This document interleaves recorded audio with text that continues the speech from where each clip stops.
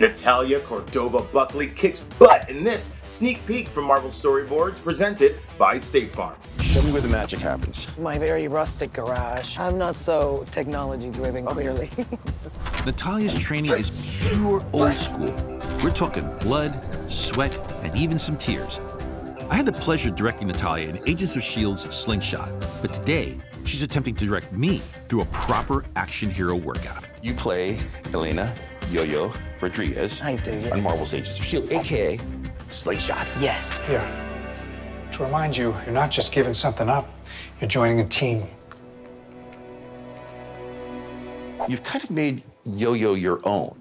I've always been given really strong female roles. Yeah. And I believe all females are strong. Even if they make choices that we perceive as weak, I think even in that choice, there's a lot of strength because I think women are strong just by being born into a world that's in a lot of ways so against them. And now, how's it been now that you're aware that there's fandom even before you step Yeah. into the role for this character and expectations? The fans started to write, we love that Yo-Yo smiles right before she's gonna beat someone up. Or, and I thought, am I smiling while I do that? And then I would watch the show. too. And I think it was Natalia being so excited to be able to do this physical stuff that there was a grin in my face that I wasn't even aware of. But now it becomes like a and then it became Yeah. a trademark.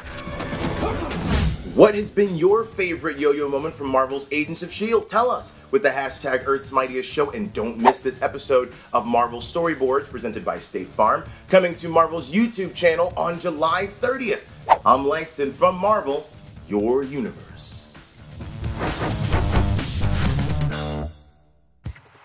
Thanks for watching Earth's Mightiest Show. If you like this, like this, leave a comment, and subscribe to the Marvel channel. Then click that box over there to get more Marvel's Agents of S.H.I.E.L.D. goodness.